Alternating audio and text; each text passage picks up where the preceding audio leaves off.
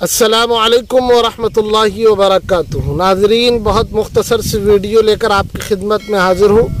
मौसम उतार चढ़ाव हो रहा है, कभी सर्दी हो रही है, कभी बहुत ज़्यादा गर्मी हो रही है, जिसकी वजह से छींकों का आना, सर्दी, ज़ुकाम का होना, खांसी का होना, गले का बैठ जाना,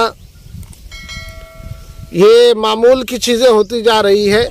बहुत ज़्यादा साथियों ने कमेंट की, डस्ट एलर्जी का इलाज बतलाए, नज़ला ज़ुकाम का इलाज बतलाए खांसी का इलाज बतलाए। दोस्तों सब बीमारियों के लिए एक मुख्तसर सा इलाज आप हजरात को दे रहा हूँ। आप इसको इस्तेमाल कीजिए। उससे कबल जिन हजरात ने चैनल को सब्सक्राइब नहीं किया है, कर लीजिए। वीडियो अगर अच्छी लगती है तो लाइक ज़रूर कीजिएगा और कमेंट में अपनी राय दीजिए कि हमारी वीडियो आपको कैसी लग रही है, या किस टॉपिक पर वीडियो बनाना चाहिए।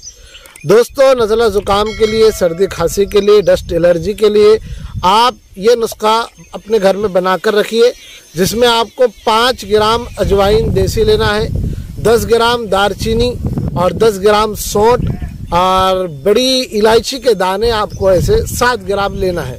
ये तमाम चीज़ों को आप अलग अलग बारीक पीस कर पाउडर बना लीजिए, आपस में मिक्स कर लीजिए, खाने की तरतीब सुन लीजिए, सुबह निहार मुँह। और असर और मगरिब के दरमियान आपको आधा चम्मच खाना है, पुदीने के कहवे के साथ।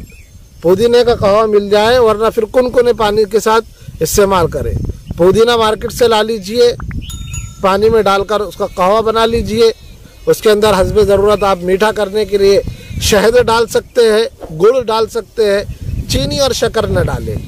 आप सुबह निहारमों और असर के बाद इस्तेमाल कीजिए। डस्ट, नज़ला, ज़ुकाम, एलर्जी, आपकी तमाम की तमाम ख़त्म हो जाएगी। इसी पर इतफ़ा करते हैं। चलिए चैनल को सब्सक्राइब कीजिए और वीडियो अच्छी लग रही तो लाइक, शेयर ज़रूर कीजिए। अस्सलाम वालेकुम रहमतुल्लाहि व बरकातहू